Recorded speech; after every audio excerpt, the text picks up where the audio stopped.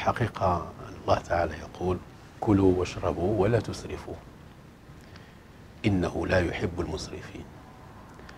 فعلى كل مسلم استعداد لرمضان ليس بالمأكولات والمشروبات ولكن الاستعداد بقلبه بتطهير قلبه من كل ألوان الذنوب التي آه، تحجبه عن رؤية الله تعالى وعن محبة الله وعن رضا الله عز وجل. هذا هو المطلوب.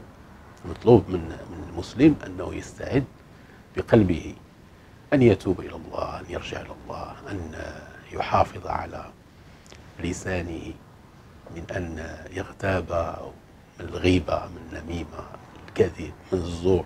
هذه كلها هذه هي المسائل اللي خصو يستعد لها الإنسان. ماشي يعمل المأكولات والمشروبات ربما ذاك المأكولات والمشروبات كلها نصف أو ربما الثلثين يضيع مع المدة. ولذلك على المؤمن على المسلم أن يعيش حياة عادية. فلا يجوز الحقيقة أن ينهمك في في طلب الإعداد للمأكولات والمشروبات ويترك القلب القلب فارغ وربما يستعد باللباس.